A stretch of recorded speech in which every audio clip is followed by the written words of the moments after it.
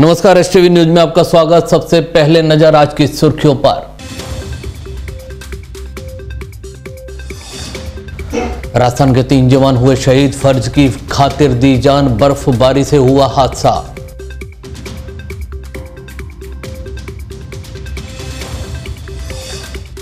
कांग्रेसी नेता ने विवाहिता से किया दुष्कर्म, घर में घुसकर की हैवानियत, पति के आने पर हुआ फरार।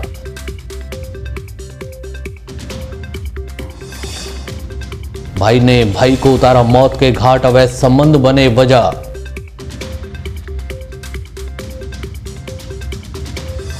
और भारी मात्रा में विस्फोटक मिलने से मचा हड़कम फ्लैट में पुलिस ने मारा छापा, दबोचे दो संदिग्ध।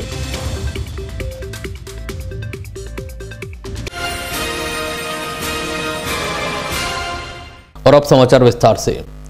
राजस्थान के तीन जवान अपने फ़र्ज़ की खातिर कुर्बान हो गए। यह जवान अलवर, झुंझुनू और भरतपुर ज़िले के रहने वाले थे। यह सैनिक ड्यूटी के दौरान जम्मू कश्मीर में हुई बर्फबारी में दब गए थे। जम्मू कश्मीर के कुपवाड़ा क्षेत्र के माछिल सेक्टर में एलओसी पर पेट्रोलिंग गश्त जारी थी। इसी दौरान हिमस्खलन में दबने से ड्यूटी पर तैनात 21 राजपोताना रेजिमेंट के तीन जवानों की मौत हो गई। इनमें अलवर ज़िले के कठुमर थाना क्षेत्र के मैथना निवासी 28 वर्षीय राजेंद्र गुर्जर भी शामिल थे। सेना द्वारा राजेंद्र के घर उसकी मौत की सूचना दी गई। राजेंद्र की मौत की सूचना से परिवार जनों सहित पूरे गाँव में शोक व्याप्त है। जैसे जैसे यह खबर आसपास के गाँवों और रिश्तेदारों में पहुँची, लोग ट्रैक्टर, ट्रॉलियों और अन्य वाहनों से मृतक राजेंद्र गुर्जर के गाँव मैथना पहुँचे। चारों तरफ़ सदमे में आई महिलाओं की चीख पुकार मची थी। पत्नी पुष्पा जो मायके में थी, खबर सुनते ही गाँव पहुँची। उनके साथ आई अन्य महिलाएँ भी अपने आप को संभाल नहीं पा रही थी।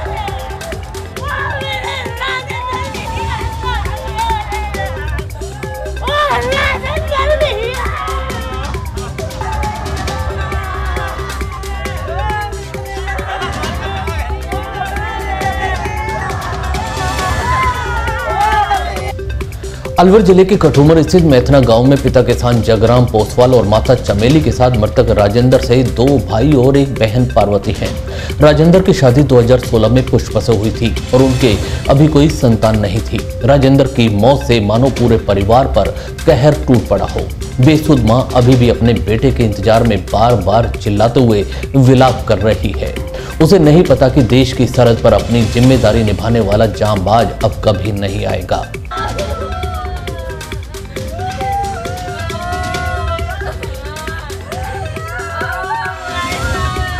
बड़े भाई वीरेंद्र ने बताया कि किस तरह उसे सेना ने फ़ोन पर बताया कि राजेंद्र की मौत हो चुकी है।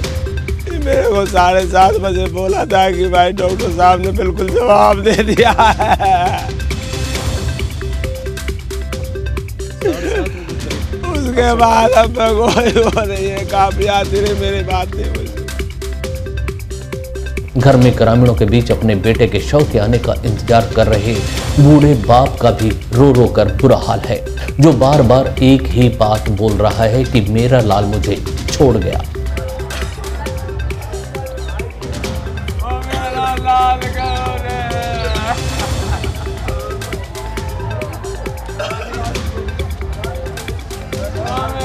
मैथना गाँव में लगभग 500 परिवार हैं। और इस गाँव में लगभग 100 से ज़्यादा परिवार सेना से जुड़े हैं। यानी हर तीसरे घर में कोई ना कोई फौज में भर्ती है। लेकिन इस हादसे ने सारे गाँव को हिलाकर रख दिया है। बस कम से कम 500 परिवार हैं। जिनमें से कम से कम 150 परिवार फौज में हैं। फौजी। डेढ़ सौ परिवार में से लोग फौज में हैं। फौज में हैं। और इस समय जो ये हादसा हुआ ये तो बहुत ये झटका नहीं साहब मतलब पूछो मत इसकी सीमा।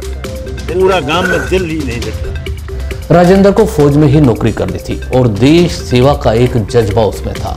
जब भी कहीं सेना में भर्ती होती और वह पहुँच जाता था। इसके लिए उसने 21 बार प्रयास किए और अंत में उसे सफलता मिली और 2012 में उसे सेना में जाने का अवसर प्राप्त हुआ। तो उसने इतना प्रयास किया था सब भर्ती देखने में मतलब इकतीस भर्ती में हुए सेना में गया। बहुत कई बार वो टेस्ट में मेडिकल में कई बार निकल चुका पर उसने प्रयास नहीं छोड़ा। उसको, उसने लक्ष्य बना लिया था कि मेरे को आर्मी में ही जाना देश सेवा ही करनी है, उसका ये मेन लक्ष्य था। 21 राजपुताना रेजिमेंट के कार्यरत राजेंद्र की ड्यूटी जम्मू कश्मीर के कुपवाड़ा के माछिल सेक्टर में एलओसी पर पेट्रोलिंग गश्त के दौरान थी, जहाँ हिमस्खलन में दबने पर यह हादसा हुआ। इस दौरान चार सैनिक बर्फ़ में दब गए थे और रेस्क्यू में निकलने के बाद उनमें से तीन जवानों की मौत हो गई थी, जिसमें तीनों राजस्थान के थे। झुंझुनू ज़िले में मेहाड़ा गुजरवास का रहने वाला कमलेश रावत भी कश्मीर के माछिल सेक्टर में सीमा के पास पहरा देते समय बर्फबारी की चपेट में आ गया। इसके चलते शहीद के गाँव में चूल्हे भी नहीं जलाए गए। साथ ही शादियों में जो मंगल गीत गाए जा रहे थे, वह भी बंद हो गए। शहीद कमलेश अपनी पुत्री की शादी अप्रैल में करने वाला था। उधर जम्मू कश्मीर के कुपवाड़ा में भरतपुर ज़िले का जवान शहीद हो गया।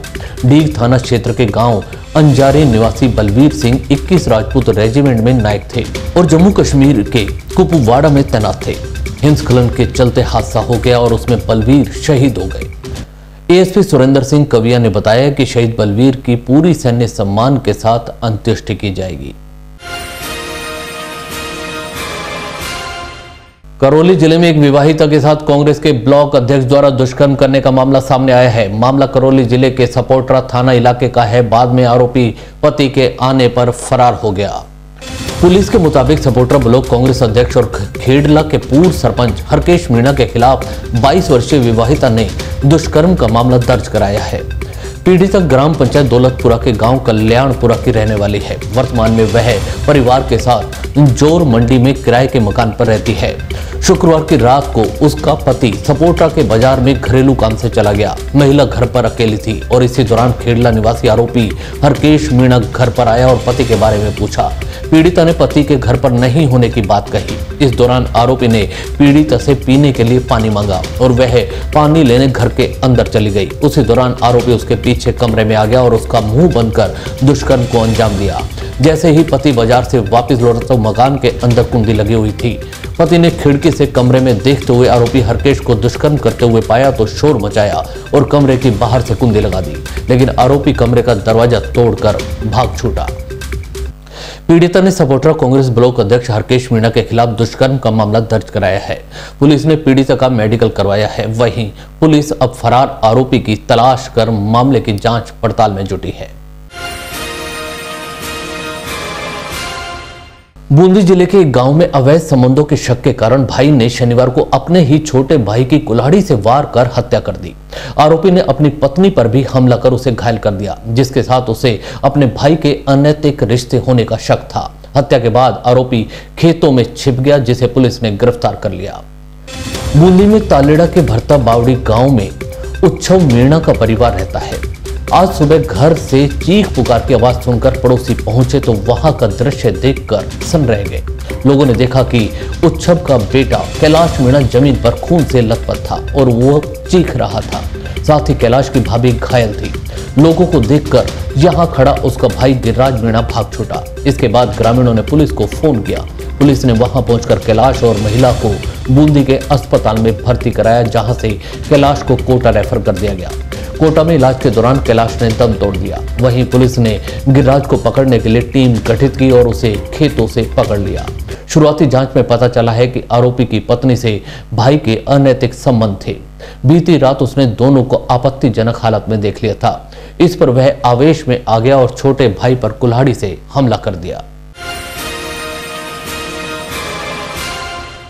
अलवर ज़िले में भिवाड़ी स्थित कृष सोसाइटी के फ्लैट में भिवाड़ी पुलिस ने भारी मात्रा में विस्फोटक बरामद किया है। इस फ्लैट में कई राज्यों में विस्फोटक सप्लाई करने का काम जारी था। मौके से दो संदिग्ध भी पकड़े गए हैं। विस्फोटक की खेप में करीब दस हज़ार meter cordtex wire 500 meter detonator और अन्य उपकरण बरामद किए गए हैं। डीएसपी सिद्धांत शर्मा के नेतृत्व में हुई रेड में पुलिस ने मौके से युवक युवती को भी हिरासत में लिया है। आरोपी की पहचान अलवर निवासी शाहरुम के रूप में हुई। वहीं हरियाणा के सोहना निवासी रफीक नाम का मुख्य आरोपी अभी फरार चल रहा है। छापे के दौरान एएसपी पुष्पेंद्र सोलंकी सहित भारी पुलिस बल मौके पर रहा। पुलिस से मिली जानकारी के अनुसार फ्लैट सोहना निवासी रफीक ने किराए पर लिया हुआ था। पुलिस ने जिस दौरान फ्लैट में रेड की वहाँ पर शाहरुख नाम का युवक और एक युवती मौजूद थे। दूसरा एक कमरा विस्फोटक से भरा हुआ था। बताया जाता है कि मुख्य आरोपी रफीक विस्फोटक राजस्थान के साथ हरियाणा और अन्य प्रदेशों में भी सप्लाई करता था। कृष्ण सोसाइटी के तीन फ़ेज़ में करीब ढाई हज़ार फ्लैट हैं। इनमें करीब दो हज़ार परिवार रहते हैं। ऐसे में यदि कोई विस्फोट होता है तो हज़ारों लोगों की जान जा सकती थी। गौरतलब है कि मेवात क्षेत्र में खनन का अवैध धंधा बड़े स्तर पर किया जाता है। बीते वर्ष भी करीब आधा दर्जन केसों में लोगों से विस्फोटक बरामद किया गया था। बरामद किया गया विस्फोट पहाड़ों को तोड़ने के लिए प्रयोग में किया जाता है, लेकिन यदि विस्फोट गलत हाथों में पड़ जाए तो किसी आतंकवादी गतिविधियों में भी इस्तेमाल किया जा सकता है। राजस्थान में पाँच साल पहले सऊदी अरब गए एक युवक की हत्या कर दी गई। मृतक युवक करौली ज़िले के परिता ग्राम पंचायत का रहने वाला था। परिजनों के अनुसार युवक मुकेश बैरवा का सऊदी अरब में एक फैक्ट्री के मालिक कपिल से लेन देन को लेकर झगड़ा हुआ था। उन्होंने झगड़े के बाद साजिश के तहत हत्या कर जंगलों में लाश फेंकने के आरोप लगाए हैं। परिजनों ने मृतक मुकेश के शव को भारत लाने और मामले की जाँच कराने के लिए विदेश मंत्रालय में गुहार की है। बताया जाता है कि कारीगरी के धंधे के बजाय मुकेश को फैक्ट्री में दूसरे काम पर लगा दिया गया। जब भी मुकेश की परिजनों से दूरभाष पर बात होती थी तो वह फैक्ट्री में मालिक कपिल की ओर से परेशान करने की बात करता था। मुकेश वापस भारत आना चाहता था, लेकिन पैसे नहीं दिए जाने से वह स्वदेश नहीं लौट सका। मुकेश की आखिरी बातचीत 30 जनवरी की रात 10 बजे गाँव पिलोदा निवासी अपने साले श्यामलाल के साथ हुई थी। तब उसने फैक्ट्री मालिक से पैसों को लेकर झगड़ा होने की बात कही थी और कहा था कि अगले दिन वह मेरा हिसाब कर मुझे स्वदेश भेज देगा। लेकिन दूसरे दिन 31 जनवरी को दोपहर एक बजे, मुकेश के साथ मजदूरी करने वाले जयपुर निवासी गुमान सिंह का फ़ोन आया। उसने मुकेश के मरने की जानकारी दी। मृतक मुकेश बैरवा का पूरा परिवार गरीबी के चलते कारीगरी और बेलदारी पर आश्रित है। मृतक मुकेश बैरवा के परिवार में हत्या की सूचना मिलते ही कोहराम मच गया। माँ बाप के अलावा उसकी पत्नी साबी के साथ दो पुत्र और दो पुत्रियाँ भी हैं। ऐसे में मुकेश के परिजनों ने हत्या का आरोप लगाते हुए मामले की जाँच कराने के लिए विदेश मंत्रालय से गुहार की है। बहरोड उपखंड के अनंतपुरा स्थित Maharana Pratap regional training centre में आज तैतालीसवां दीक्षांत समारोह मनाया गया। इस दौरान सीआईएसएफ के जवानों ने परेड के दौरान राष्ट्र ध्वज को सलामी दी।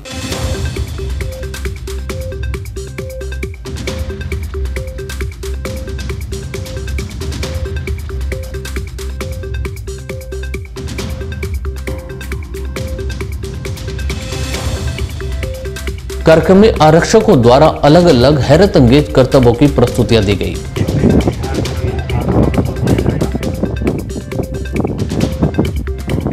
आरक्षक बुनियादी प्रशिक्षण दीक्षांत कार्यक्रम के दौरान पूरे सीआईएसएफ प्रांगण को अलग अलग रंगों से सजाया गया। कार्यक्रम के मुख्य अतिथि सीआईएसएफ के additional DG M A Ganapathy थे। ट्रेनिंग में पास आउट हुए जवानों ने वफादार और ईमानदार रहते हुए देश की सेवा के लिए हमेशा तत्पर रहने की बात कही। जवानों द्वारा यह भी दिखाया गया कि आतंकवादियों से घिरे वीआईपी को किस प्रकार सीआईएसएफ के जवान बचाकर सही सलामत ला सकते हैं।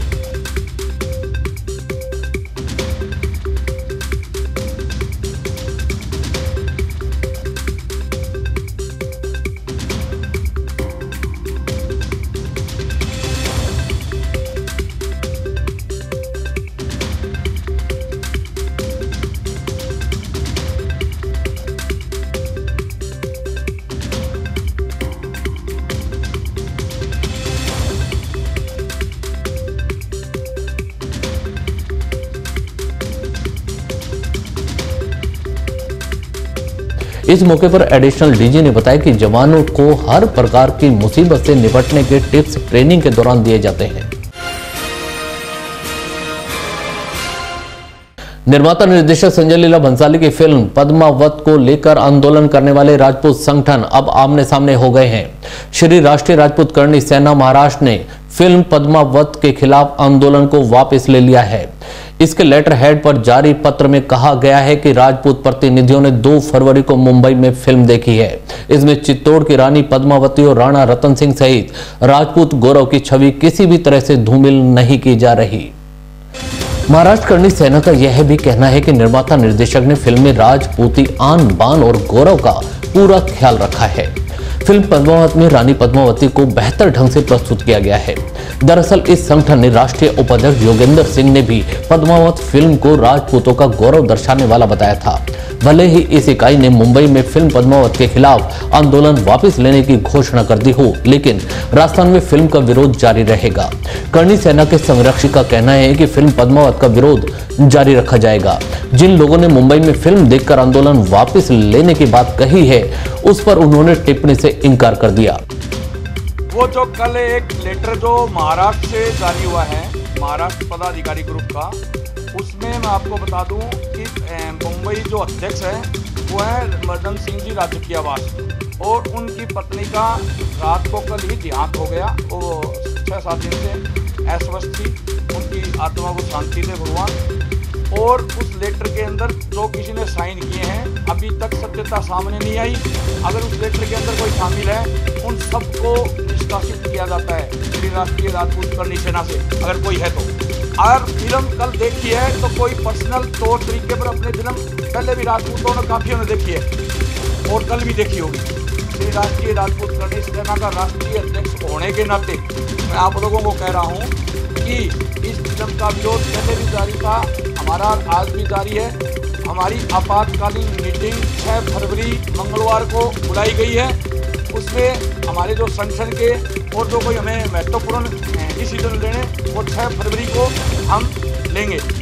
बात रही फ़िल्म की तो फ़िल्म राजस्थान में ना तो राष्ट्रीय राजपूत करनी सेना चला सकती, ना करनी सेना चला सकती, ना कोई अन्य संगठन चला सकता।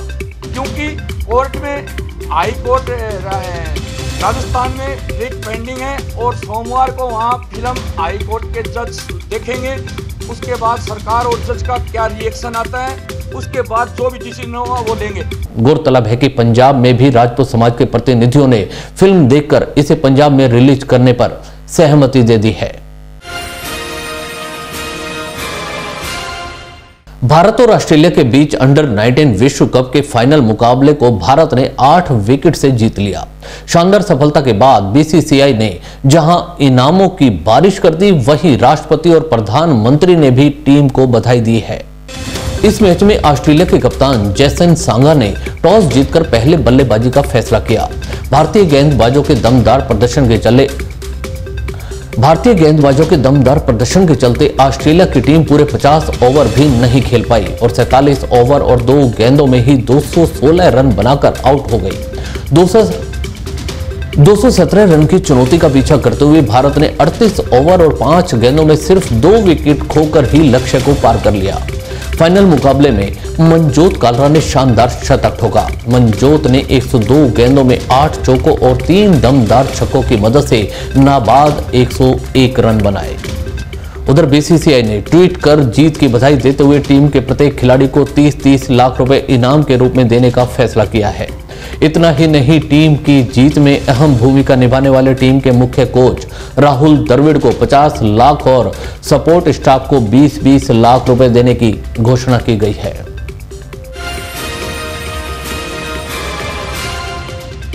आयकर विभाग ने नोटबंदी के दौरान अपने अकाउंट में 15 लाख से ज़्यादा की रकम जमा कराने वाले करीब 2 लाख लोगों को नोटिस जारी किए हैं। Central board of direct taxes के चेयरमैन सुशील चंद्रा के मुताबिक, नोटबंदी के ऐलान के बाद कई लोगों के अकाउंट में 15 लाख से ज़्यादा की रकम जमा की गई, लेकिन इस पर कोई रिटर्न फ़ाइल नहीं की गई।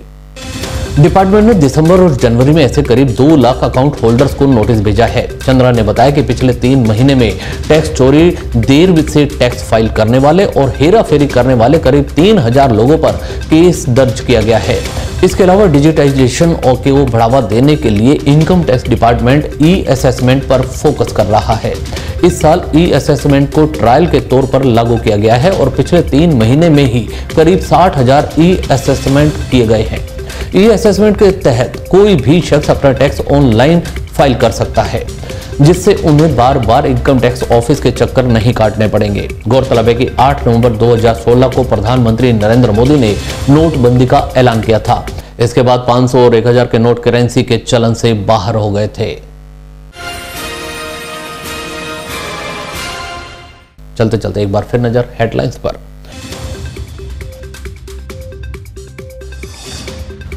राजस्थान के तीन जवान हुए शहीद, फ़र्ज़ की खातिर दी जान, बर्फबारी से हुआ हादसा।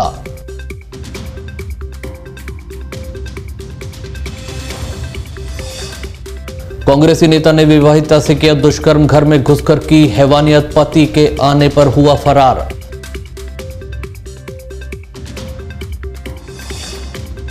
भाई ने भाई को उतारा मौत के घाट, अवैध संबंध बने वजह।